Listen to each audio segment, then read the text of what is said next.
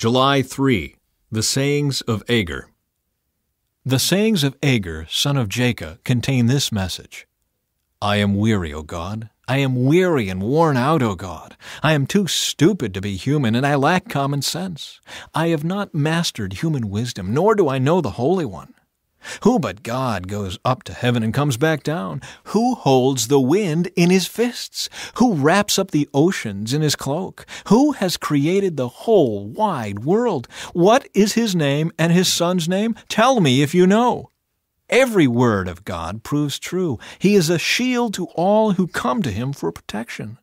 Do not add to his words, or he may rebuke you and expose you as a liar. Oh God, I beg two favors from you. Let me have them before I die. First, help me never to tell a lie. Second, give me neither poverty nor riches. Give me just enough to satisfy my needs. For if I grow rich, I may deny you and say, Who is the Lord? And if I am too poor, I may steal and thus insult God's holy name. Never slander a worker to the employer, or the person will curse you and you will pay for it. Some people curse their father and do not thank their mother. They are pure in their own eyes, but they are filthy and unwashed. They look proudly around, casting disdainful glances. They have teeth like swords and fangs like knives. They devour the poor from the earth and the needy from among humanity. The leech has two suckers that cry out, More, more! There are three things that are never satisfied, no, four that never say enough the grave, the barren womb, the thirsty desert, the blazing fire. The eye that mocks a father and despises a mother's instructions will be plucked out by ravens of the valley and eaten by vultures. There are three things that amaze me, no, four things that I don't understand.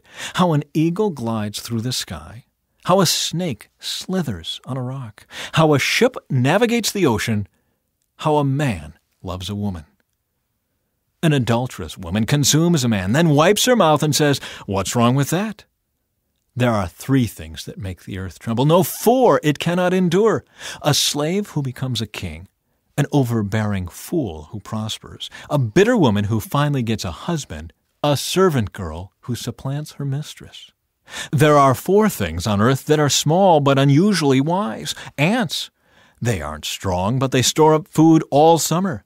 Hyraxes, they aren't powerful, but they make their homes among the rocks. Locusts, they have no king, but they march in formation. Lizards, they are easy to catch, but they are found even in kings' palaces. There are three things that walk with stately stride, no four that strut about. The lion, king of animals, who won't turn aside for anything. The strutting rooster. The male goat. A king as he leads his army. If you have been a fool by being proud or plotting evil, cover your mouth in shame. As the beating of cream yields butter, and striking the nose causes bleeding, so stirring up anger causes quarrels. The Sayings of King Lemuel The sayings of King Lemuel contain this message, which his mother taught him O my son, O son of my womb, O son of my vows, do not waste your strength on women, on those who ruin kings. It is not for kings, O Lemuel, to guzzle wine. Rulers should not crave alcohol, for if they drink, they may forget the law, and not give justice to the oppressed. Alcohol is for the dying, and wine for those in bitter distress. Let them drink to forget their poverty and remember their troubles no more. Speak up for those who cannot speak for themselves. Ensure justice for those being crushed. Yes, speak up for the poor and helpless and see that they get justice. A wife of noble character. Who can find a virtuous and capable wife? She is more precious than rubies. Her husband can trust her, and she will greatly enrich his life. She brings him good, not harm, all the days of her life. She finds wool and flax and busily spins it. She is like a merchant's ship bringing her food from afar.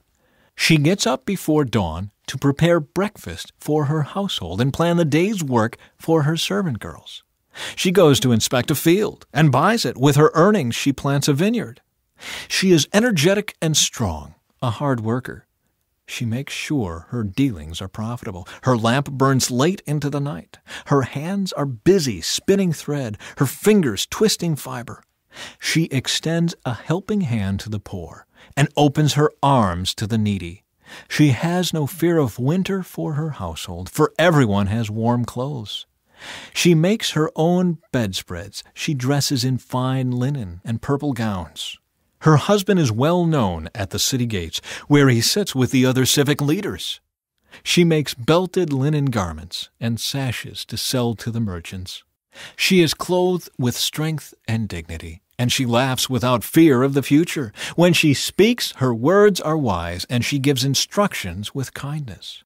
She carefully watches everything in her household and suffers nothing from laziness. Her children stand and bless her. Her husband praises her. There are many virtuous and capable women in the world, but you surpass them all.